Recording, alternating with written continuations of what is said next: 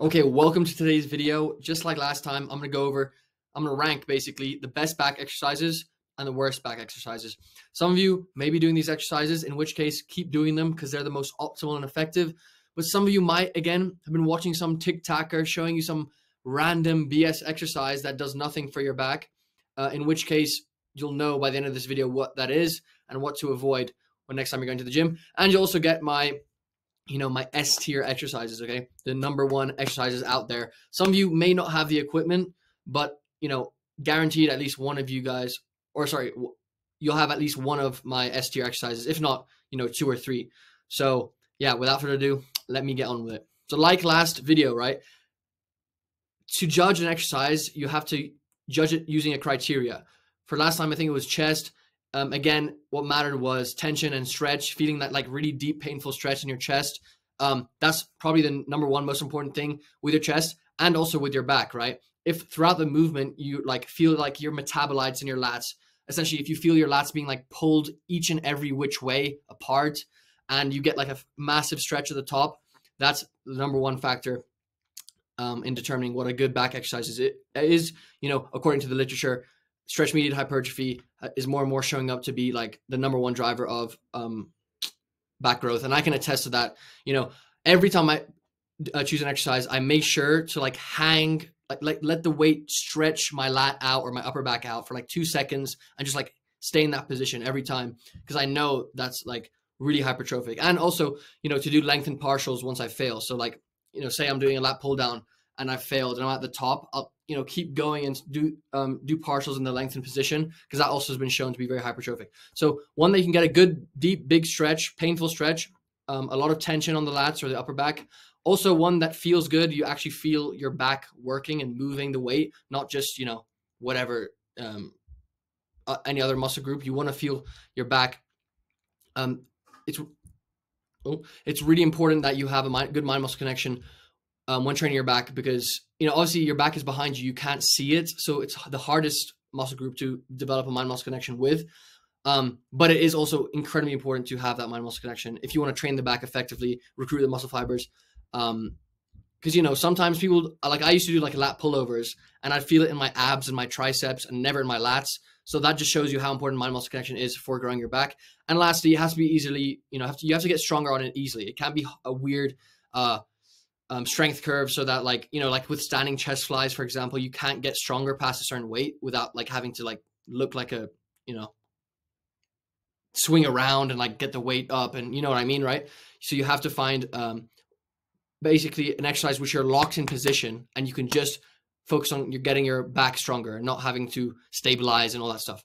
Um but that will come into I'll explain, you know, the certain exercises which cover these criteria and thus make it a good exercise. So let me get on with it. First, let me get, hold on, make myself a bit smaller. Let me make my, um, let me just get off the bat, start off um, with the worst exercises, right?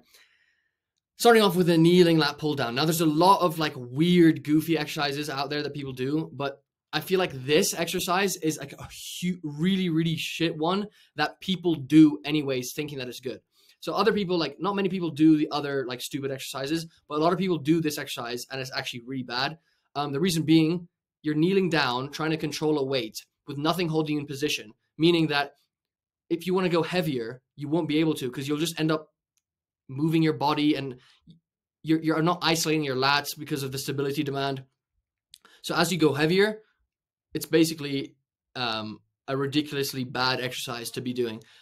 What you want to do instead is do a bench, you know, a single arm lat pull down using a bench for support, right? That way you're stable, you're in position, and you just focus on pulling with your lats and not having to like, you know, pull with your whole body like when you're kneeling down, right? And if you were to do a um, single arm lat pull down with a bench, that would make it an A exercise, especially for the lower lats. A lot of people, especially me, have under, underdeveloped lower lats. You see a big chunk up here, but nothing down here, and it's it's a really aesthetic um, muscle group. Oh, sorry it's really aesthetic when you have that lower lat development. Um, so you know, if you are doing, if you want to do single arm lat pull downs, don't do them kneeling down. Okay, use a bench at the cable stack and do them like that.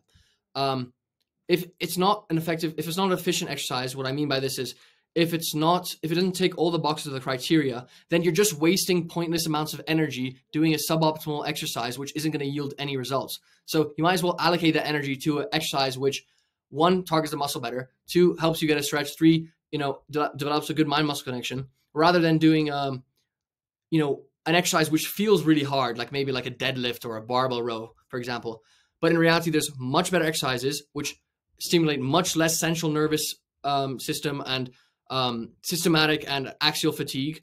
And you know the stimulus to fatigue ratio is better, which means you recover better from the exercises which you're stable in, and it damages the muscle and you know generates more hypertrophy than the you know less stable ones like the deadlift and the barbell row. So kneeling lat pull down is getting an F because I know there's maybe some of you who do that one. Rack pull. Now this is another one which you know you see a lot of bodybuilders and big people doing them, and they are can be good for growth, I guess, um, but definitely not my first choice at all. And most of the time, it's people do this so that they can like feel big in the gym and like feel cool because it's basically an, essentially an ego lift. You're picking up a weight. You're not even deadlifting it. You're just p- picking it up from like knee height, and you're like you're coming up with it. And supposedly it does something for your lats, which you know it can, but for most people, the mind muscle connection you get from it is you know dog shit and it won't really do anything it's like the deadlift right if you're trying to grow your back rack pulls deadlifts won't grow your back okay based off my experience but also based off um, the literature you want to be doing your more isolated movements whereas if you're doing your rack pull it's your traps it's your forearms it's your low spinal erectors it's your hamstrings um, and maybe yeah a bit of lats but you know you're going to get a bit better better bang for your buck by doing more isolated movements um, another one which makes this another reason why this is like a bad exercise is because it doesn't fulfill the fundamental principles of um, what makes exercise good, right? If you're not lengthening and stretching your muscles out, if you're not squeezing the contraction, then chances are it's not a good bodybuilding exercise. It's more of just a, I don't know, moving a lot of weight exercise, right? So if you're not stretching, you're not squeezing, that's does that's going to render it an ineffective exercise, in my opinion. But also, we know that you need to stretch, squeeze, um, control the eccentric for an, expe- an exercise to be effective for muscle growth. So instead, as I said, focus on more isolation movements, which I'll come on to later in this video. So rack pull's getting an E. Deadlift's getting a D, right? I know some of you might be like, what? Deadlifts are goated. Yeah, they're good. They're fun. You can get stronger. You can build muscle. But again, fo- it focuses on your hamstrings, your forearms, your traps, um, what else? Your spinal erectors. And it takes a huge toll on your central nervous system because you're you're lifting with so many muscle groups. It doesn't really focus on one particular muscle group well. So you're not going to grow that muscle group well. You're going to grow all of those muscle groups a little bit, if that makes sense. So you want to pick again a lat focus or upper back focus exercise where you're stable and you can just focus on squeezing and stretching your lats and your upper back, right? Another thing is a lot of people when they do deadlifts, they don't even control the eccentric. And even if they were to, what are you what muscle group is actually um, uh, controlling that eccentric, right? It's essentially your whole body. If you're if you lift it up and you're coming down with controlling the eccentric, it's like five muscle groups controlling that eccentric. Again, you're taking the load off one muscle group, putting it on many, so that it's yes, it's effective at targeting many muscle groups, but but you want to be targeting isolated single muscle groups. Does that make sense? So if you're trying to do deadlifts because you think it's going to grow your back, trust me, I did deadlifts for like my first year, you know, beginner ego lifting, and it doesn't do anything for your back, anything. Um, yeah, it's good for your traps. It's good for, um, you know, your spinal erectors. But other than that, stay away from it if you're trying to grow your back. And it's, you know, very systematic, systematically fatiguing, um, and obviously axial fatiguing. Um, so the stimulus to fatigue ratio is worse. You're going to take longer to recover, and it doesn't even target your lats better in the first place. So it's just you know pointless exercise to do if you're trying to grow your lats, in my opinion. Um, so yeah, deadlift's getting a D, I'm afraid. Again, I'm, there's so many exercises out there. I'm just gonna focus on the main ones which I see people doing and um, what I did in the past and what I do now. Okay, next, this might come as a surprise to some of you, but I'm just very harsh in my uh, you know exercise selection. Okay, I only choose the most optimal. I don't sorry. I don't care how it looks. I, I don't care if people on TikTok are doing it. I don't care if, you know, I look strong when I'm doing it. You know, I just care about isolating the muscle group and growing muscle. I just care about bodybuilding, right? Um, don't really care about power powerlifting. So that's why seated cable row, bodybuilding, uh, sorry, bodybuilding, barbell row, and dumbbell row are getting C. Okay.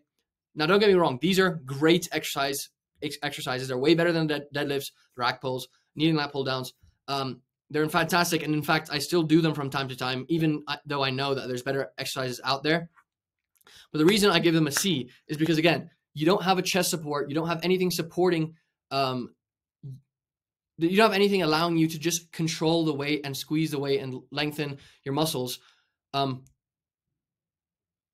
without having to like you know control your abs and shake and and you know strain your lower back and um, you know you're just not stable enough. And the less stable you are essentially the less able you are to focus on move it taking your lats or your upper back through a full range of motion really just you know focusing on it, your lat squeezing and you know all that stuff you're going to have to focus on your, your lower back coming up and down or forwards and backwards. Um, you know, it takes in, it, involves a lot of um, systematic energy and um, just isn't that, isn't as isolationist as we'd like, right? So, you know, that's why. And also, like, if you're doing a seated cable row and you're using like a neutral grip or narrow grip, it's not really a full range of motion essentially for your lats, right? Because um, you stop out here, right?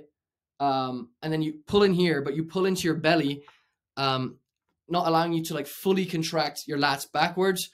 Um, I am being picky, but if you're gonna do like I say, do cable row, for example, maybe use a wider grip so that you can you know fully retract your scapula and you know get a better stretch. Okay, I'm muting this. Um, and you know, bar, bar, um, rows, dumbbell rows, you know, are great exercises for developing overall thickness. But again, you know, you are loading your lower back as well and your hamstrings and you know it's more systematically fatiguing. You're not isolating your upper back uh, more than your lats or your lats more than your upper back. It's sort of just both at once while bent over while trying to like tense your abs and your lower back you know starts hurting and all that stuff right? Although they are very good at targeting your your upper back and your lats depending on how you row. If you you know pull your elbows into your uh, hips it's going to be more lats. If you put your elbows into your armpits it's going to be more upper back. But again, the stability demand takes away from the effectiveness effectiveness of the exercise. Okay, um, this is not to say they're bad, obviously, but just if you want to build as much muscle as possible, you want to be stable in your back movements, right? So as so therefore, you want to find chest supported rows um, for better back muscle activation and stability. It's going to allow you to pour more energy and focus onto your markets, which are, muscles which you're targeting, and less onto trying to balance and you know stabilize your lower back and you know all that stuff, right? Okay. B. Now, you might be like, Frankie, you just said cable row is and and dumbbell rows are, you know, C. Why are you putting single arms cable row and single arm dumbbell row as B? The reason is one, because a lot of us, I would say, you know, the majority of people, let me make, make myself bigger. The majority of people have a lat muscle imbalance, okay? You, you there's no way you don't. Um, so these are so effective, and, and the same goes for the single arm lat pull down, are so effective in fixing muscle imbalances, look, making you look more proportionate, uh, more balanced, more symmetrical. But also, you can get a full stretch and a full squeeze, right? Because you you're not constrained of both hands, but you can use one hand to leverage or lengthening your stretch and come back and squeeze. Whereas if you're doing two, you stop here and you stop here. That does that make sense? So it's like a better range of motion, in my opinion. You know, really, really uh, better tension as well. I don't know if any of you have done single arm cable rows, but you just feel your metabolizing your lats just being ripped apart fully um, on the eccentric, and you can really squeeze your lower lats um, and come back and just hold that squeeze. Um, but mainly because it fixes muscle balance, better range of motion, um, and obviously it's great stretch. You can really fully stretch since you're just using one arm. You can like twist your body to accentuate the stretch. Um, this makes it, you know, B. Now I would say, you know, this could be A as well. It just depends. But I, I also recently recently started doing single arm dumbbell rows. They're really good as well. Both of these are great for targeting your lower lats. They provide a better, uh, larger range of motion um, than just doing them with both hands unilaterally, and they fix muscle imbalances. So that that's that's going to prop them up to a B, in my opinion. All right, A tier. So let me explain to you why I put chest supported T-bar row and chest supported dumbbell row. The reason is the only difference between a, a barbell row or a dumbbell row is that one, you have to stabilize your core and your lower back, and that takes more energy. And the other, you don't have to worry about that. You have a chest support, and you can just focus on pulling your back and you know squeezing your upper back, stretching out. You don't have to worry about balancing and stabilizing. For that reason, you can allocate more energy and focus and better activate the muscle group that you're targeting. And stimulus to fatigue ratio is better. You can recover better because you're not. It's not a huge compound movement where you're like using your whole body to you know balance uh, or sorry stabilize while you're rowing. Uh, it's just your lats um, and your or your upper back depending on how you're pulling. Um, insane stretch. So like when you're you've inclined the bench and you lie on top of it, you can like bend down like that and just really feel the stretch in your upper back. It's really really good. Um, especially with the dumbbell row. I'd have to say my personal favorite is chest supported dumbbell row, then um, chest supported T bar row, um, because obviously I just feel like you can get a if you like like bend over the edge of the bench and you can like just really get a massive stretch in your upper back. Um, but the reason it's not S tier, you know, is because sometimes it can be very uncomfortable. You can get a lot of spinal stretching um, when you're trying to accentuate the stretch over the top, um, which is unnecessary and you know takes away from um, you know you're not targeting your lower back, right? You're targeting your upper back. And, you know, sometimes people's chest hurts when you're pressing against the bench. But, you know, I just say man up in that case. But I, I understand it is a bit annoying and it does take away from your focus and your energy. Um, but other than that, it's an A tier movement. It's great for your upper back. The squeeze is great. The it hits your rhomboids, your lower traps. Depending on how you pull, if you pull higher up, your um, or if you pull like 90 degrees, sorry, 90 degrees, it's your lower traps. But all in all, great, really great movements for your your upper back more than your lats. Um, and your pull-ups is are just are great, right? They are very very good overall um, movements for your for your lats. Um, but the reason they're not S tier is because soon you're going to get strong. You're going to be able to do like 20 reps easily. I'd say obviously you know make sure to control the eccentric, um, get a stretch and get a good squeeze.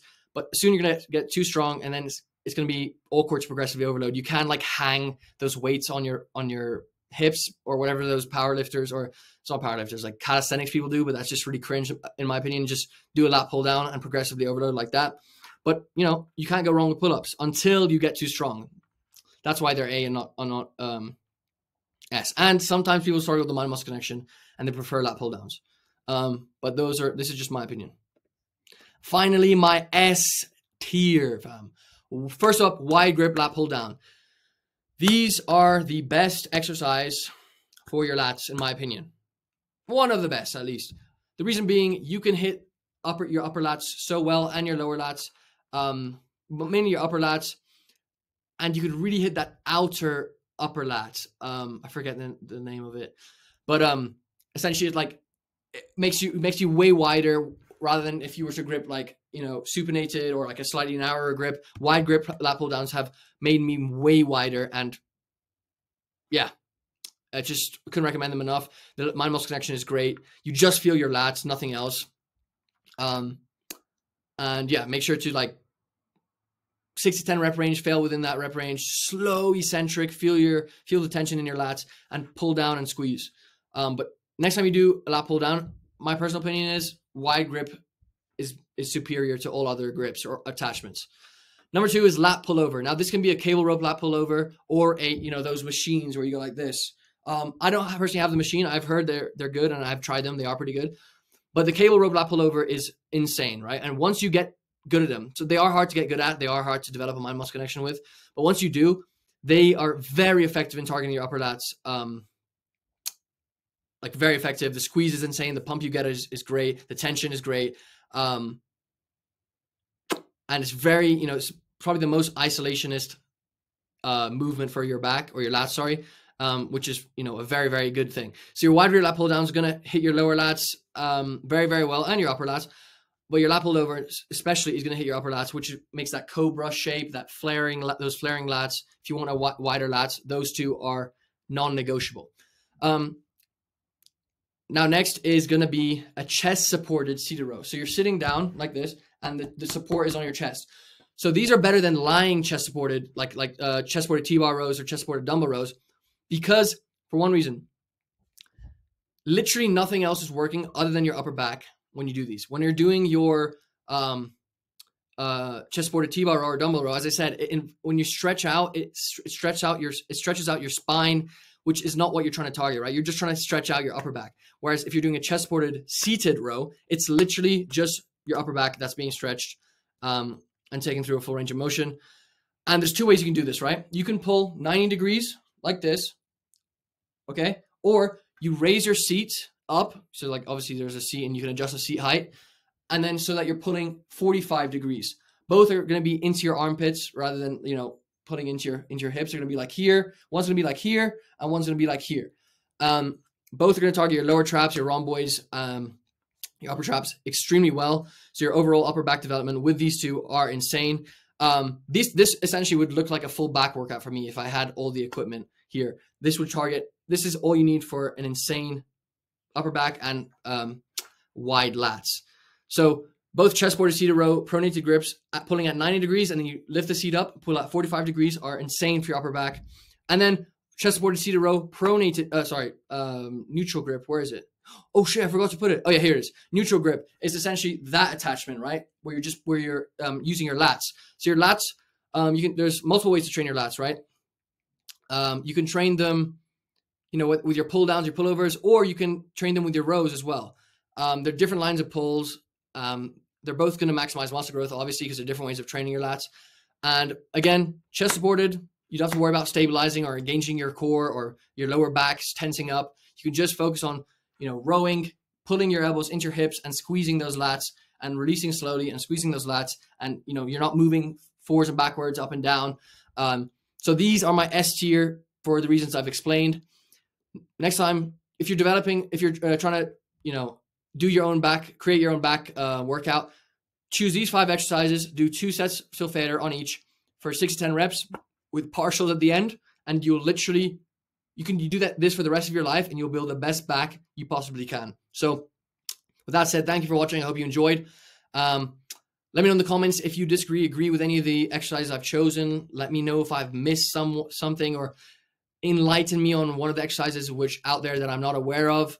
Um, but these are my personal favorite and my personal opinion on what I think is best and worst and why. Um, check out the link in the description for free training programs, meal plans, community, um, one-on-one coaching, all the stuff, merch, uh, all that stuff. And yeah, thank you for watching, and I'll see you in the next video. Peace.